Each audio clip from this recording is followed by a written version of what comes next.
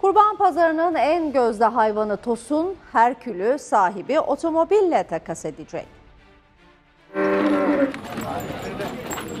İsmi Herkül avcılarını bekliyoruz. Adının hakkını veriyor, pazarın en popüler hayvanı. Dile kolay kilosu tam 1 ton geliyor. Herkül isimli tosun 15.500 liraya satılacak.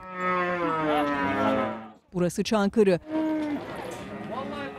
Kurban pazarında yer alan besici Fatih Doğan işte bu tosunu yetiştirdi. Kurban pazarında satmaya geldi. Yaklaşık 3 senedir biz de kendi özel besimiz. Tek bunu özel besiyle besledik. Şu an 15.500 lira istiyoruz. İsmi Herkül avcılarını bekliyoruz. Herkül'ün fiyatı kilosu kadar yüksek. Adeta araba fiyatında. Sahibi ise hayvanını arabayla takas yapabilir. Arabayla da takas ederiz.